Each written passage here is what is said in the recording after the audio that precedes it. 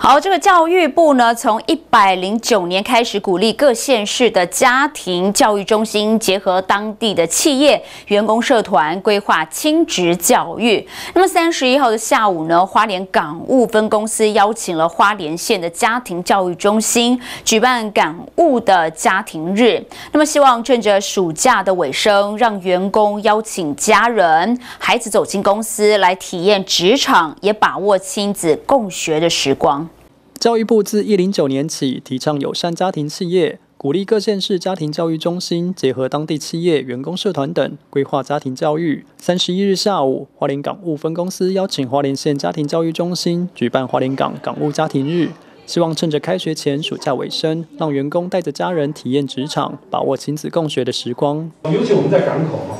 然后我们是希望呃，在整个港口，希望这些小朋友透过这整个的一些活动的话，也让他知道像。我们底下也有博物馆，那甚至于说他，呃，尤其是呃在港口的话，有时候或许他带到港口来，他也能够了解，哦，原来父母亲在港口工作，那这个地方跟我们的未来的这个海洋教育、海洋文化，或者是一些他妈妈、父母亲的工作的内容性质是怎么样？我想。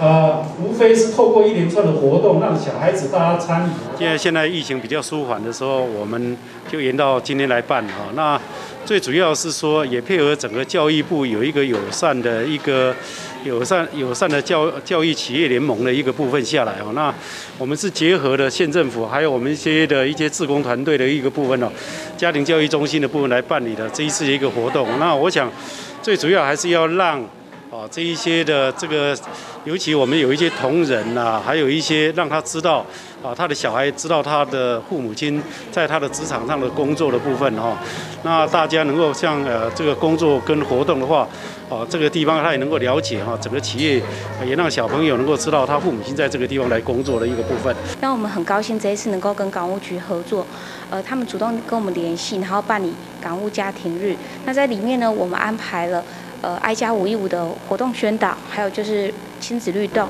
然后接下来还有就是亲子绘本导读，希望能够透过这样子的阅读活动，增进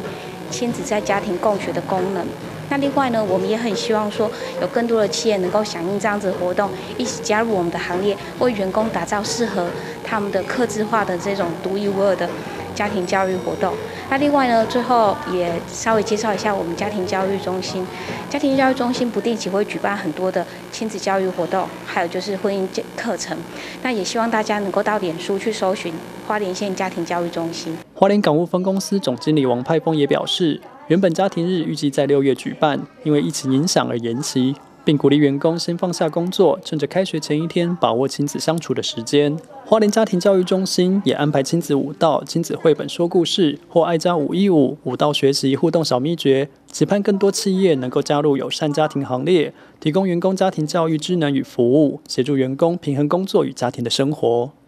记者蒋邦彦花莲市报道。